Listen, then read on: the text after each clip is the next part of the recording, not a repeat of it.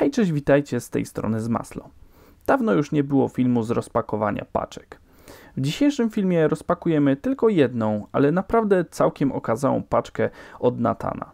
Natan przysłał mi troszeczkę retro sprzętu, które myślę gdzieś tam po drodze na pewno mi się przyda. Pierwszą rzeczą, którą dostałem, był to naprawdę całkiem niezły pakiet kości pamięci.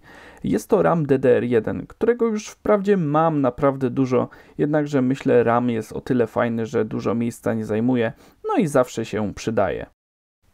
W małym zawiniątku z gąbeczką na spodzie był procesor Intel Pentium 4.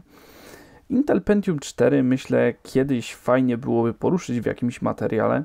Niestety nie przeżył on najlepiej transportu i piny się pogięły, więc będę musiał sobie je jakoś naprostować.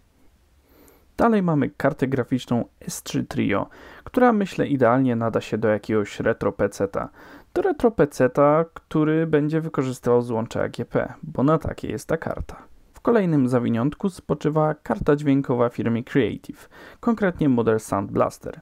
I bardzo cieszę się, że dostałem taką kartę, bo one są bardzo dobrze wspierane przy starszych systemach operacyjnych.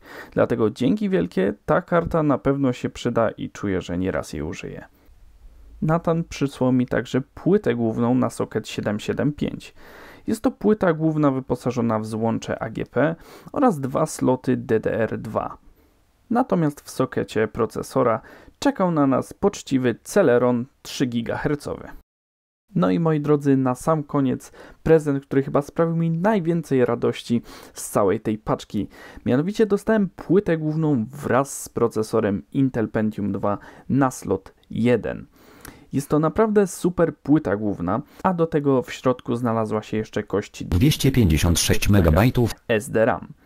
I w połączeniu z tą kartą dźwiękową, którą podesłał mi Nathan oraz kartą graficzną S3 Trio, myślę można zbudować naprawdę całkiem spoko retro peceta. No i co? Chcielibyście zobaczyć, jak ten PC się sprawuje? Jeżeli tak, to dajcie znać w komentarzach. A jeśli ktoś z Was chciałby mi wysłać paczkę, to zachęcam do kontaktu mailowego lub na Facebooku. Myślę, że jakoś się dogadamy. A tymczasem ja się z Wami żegnam i do zobaczenia, do usłyszenia w kolejnych filmach i live streamach. Na razie, BIOS.